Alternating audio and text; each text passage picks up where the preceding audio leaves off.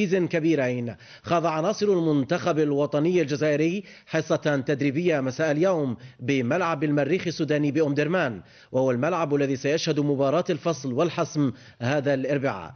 وكان المنتخب الوطني الجزائري قد أجرى أمس حصة تدريبية استرجاعية وسط تشجيعات وهتافات للجماهير السودانية الشقيقة. أمين دريدي الخضر والفريق المنتصر. أيما استقبال حظي به أشبال سعدان وسعادة أهل السودان سبقت الزمان والمكان.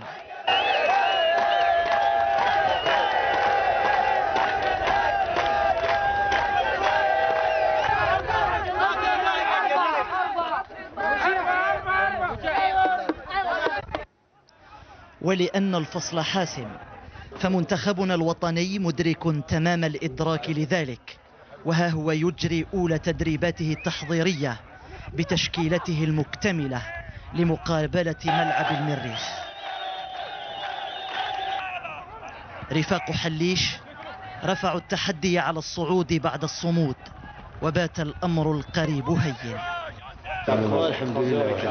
كما قال كيزن يقول الحقيقة. لكن كان شغلنا في الجزائر.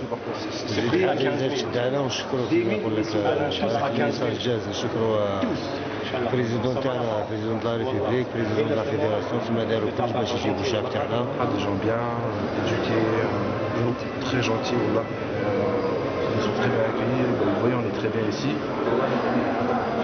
Vous dis hein, Et le match, le match Ah, le match, le match avec les supporters. Quand on sait que les supporters sont là, ne vous inquiétez pas, là, c'est pas pareil.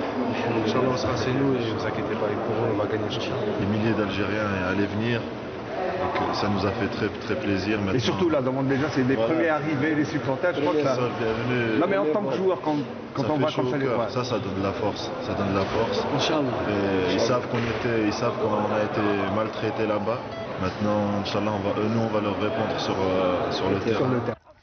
يوم الأربعاء قريب والنصر أكيد وقادم